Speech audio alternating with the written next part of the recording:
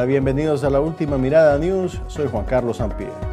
El presidente de Estados Unidos, Donald Trump, viajó hasta Francia para asistir a la conmemoración del armisticio de la Primera Guerra Mundial, pero fue el único jefe de Estado que no llegó a la ceremonia por causa de lluvia. Dos días después, ya en Estados Unidos, declinó su participación en la ceremonia del Día de los Veteranos en el cementerio de Arlington, porque supuestamente también había pronóstico de lluvia. Pero antes de que se sientan superiores, recuerden que el comandante Ortega no sale cuando hace sol y usa chaqueta en el verano. Ortega canceló a última hora su participación en la cumbre iberoamericana de presidentes. Fuentes malintencionadas aseguran que quería evitar enfrentarse a las protestas organizadas contra su régimen.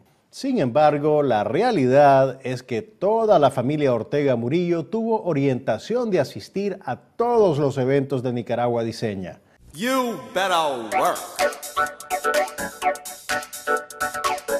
Para que no se vieran sillas vacías. El evento se vio notablemente afectado por la crisis económica. Algunos diseñadores experimentaron racionamiento de tela y falta de acceso a tintes. Otros trataron de apropiarse del huipil, pero llegaron tarde. Esa moda la impuso Doña Flor en las marchas. Entre los invitados especiales se encontraban muchos miembros del cuerpo diplomático.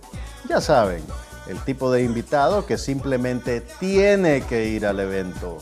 Buena noticia, ahora las entradas son gratuitas. Bueno, no debe ser buena noticia para la empresa que pretendía vender tickets al evento.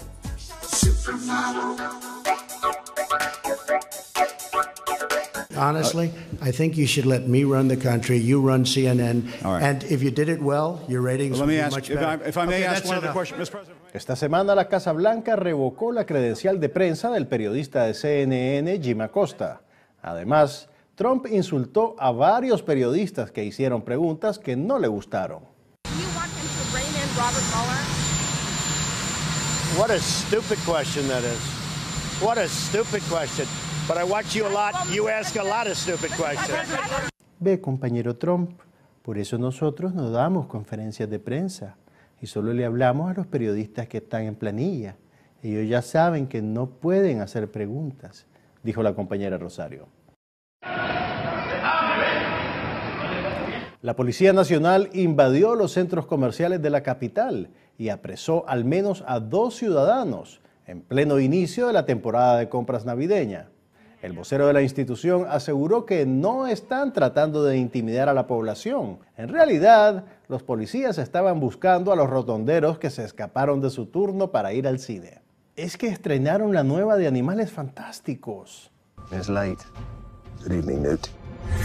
La alcaldía de Managua lleva casi dos semanas instalando decoraciones luminosas en la rotonda y Paul Jenny, apostando a que la magia de la Navidad borrará de la memoria los nueve meses de represión estatal. Buen intento, pero ni que fueran los hombres de negro. No, no esos hombres de negro. Hey, don't even worry about it.